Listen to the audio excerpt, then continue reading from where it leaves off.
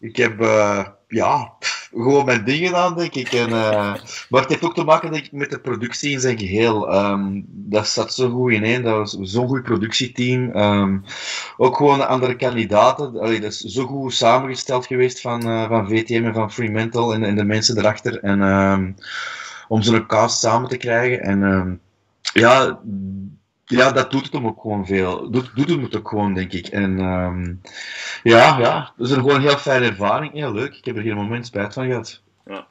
Dus Kevin, uh, ja, hoe hard heb jij moeite moeten doen om te kunnen zwijgen tegen jouw vrienden en familie? Um, ja, dat was wel moeilijk. Ik had, ik had op voorhand wel gevraagd van ja, ik moet, of gezegd, ik moet het wel tegen iemand zeggen, want allee, ja, ik ben een heel moeilijke zwijgen. Ik kan heel moeilijk dingen soms geheim... Allee, ik kan wel geheimen houden, allee, als het echt belangrijke dingen zijn, maar zo'n dingen, dan... Je zit toch altijd zo wel... Um, ja, je wilt het toch wel zeggen van, ik ben mee aan het doen om, om, een programma dat alleen mee zingen en zo, maar dat ook niet mijn habitat is. Dus ik heb toch tegen wel een paar mensen heb ik het toch wel, uh, toch wel verteld. En dat was wel fijn om dan uh, ja, af en toe toch wel even te kunnen ventileren tegen die mensen. Uh, uh, maar je zit ook gewoon in die, in die periode, je zei zo vier weken, of, of hoe lang het ook heeft geduurd, het was echt wel een paar weken. Ook bij deden ook twee shows op een dag. Je zit er zo hard mee bezig, je zit er zo hard in. Dat het soms wel heel moeilijk was om je mond niet voorbij te praten of zo. Ook, maar dat heb ik gelukkig niet gedaan. Um, dus ja, voilà. Wie van jouw vrienden wist het eigenlijk? Uh, Mathieu wist het, uh, Mathieu Terrein. Mm -hmm. um, en zijn, um, ja, zijn verloofde dan, ja. uh, die, die wisten het. Ah, ja, dus eigenlijk redelijk beperkt in de vriendenkring dan. Hè? Ja, ja, toch wel, ja. ja. En ja, heb jij van Mathieu dan zelf een reactie gekregen toen zijn naam genoemd werd eigenlijk? Ja, ik, ik heb heel een tijd in het buitenland gezeten, dus wij hebben ook niet, wij hebben zowel aan het sturen geweest, want ik was aan het werken in het buitenland, dus, dus we hebben elkaar ook niet gezien. Uh, dus ja, dat was wel, dat was wel, uh, dat was wel geestig aan en toe dat we zo eens een keer stuurden van, uh, ja, ook van andere vrienden. Max bijvoorbeeld, van Oscar de Wolf ook, ook genoemd, ook een vriend van, ook een gezamenlijke vriend. Dus dat was wel, was wel, was wel heel grappig om af en toe je vrienden te zien, te zien passeren bij, bij, enkele, bij enkele personages. Zeg, hoe hard heeft Fremantle moeite moeten doen om jou te strikken voor dit programma?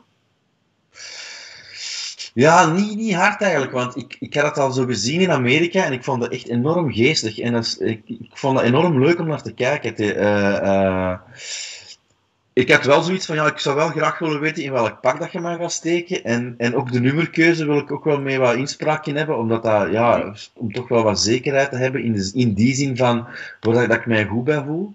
Maar eigenlijk niet veel, want het, fijne er ook wel was, uh, de mensen van de productie waren ook dezelfde mensen die achter sterren op de dansvloer zaten, ook elf jaar geleden, en ook enkele van de, met dans deed zo.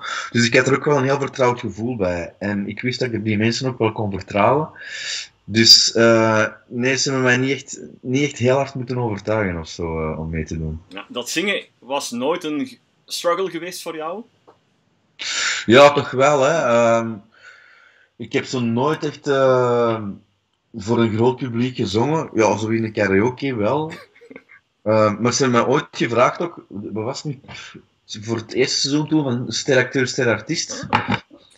Um, en dan ben ik ook zo eens een keer zo'n een, een test noemen ze het dan gaan zingen. En toen zei ze ook van ja, je moet echt meedoen, maar ik, ik durfde gewoon niet. Omdat ik, ja, dat is gewoon, ja, dat is, dat is niet, mijn, um, niet mijn habitat. En ik weet dat ik dan heel zenuwachtig ga zijn. En, dan, uh, en nu was dat met een masker en ik had zoiets van ja, niemand weet dat ik het ben. Dus daar, valt een hele, een hele hoop stress van u af. Dus uh, dat is pas op het einde, of, of als je ontmaskerd wordt in een aflevering, ja, dan weten mensen pas wie dat je bent. Dus als je dan eens een keer, ja, weet ik veel, wat niet goed zingt of, of, of, of, het niet goed doet, maakt, het mij minder uit. Maar... Dus ja, dit was voor mij meer, ja, meer uh, die, die geheimzinnigheid vond ik wel heel leuk. En uh, ik had, er, ik had mijn schroomveel ook gewoon, gewoon weg. En ik kon, ja, gewoon... En ik werd, natuurlijk, werd natuurlijk ook wel heel goed, goed begeleid door de zangcoach Ibernice, die ik heel dankbaar ben en die me echt... Eh, op die paar weken tijd, uh, ja, merk je toch dat je stem gewoon beter en beter wordt en dat je die beter begint te gebruiken, dat je, dat je die techniek begint te beheersen uh, op, zo'n korte tijd. En dat is wel heel, uh, heel fijn om te, om te merken. En ja, het is, is echt, wel, echt wel heel leuk.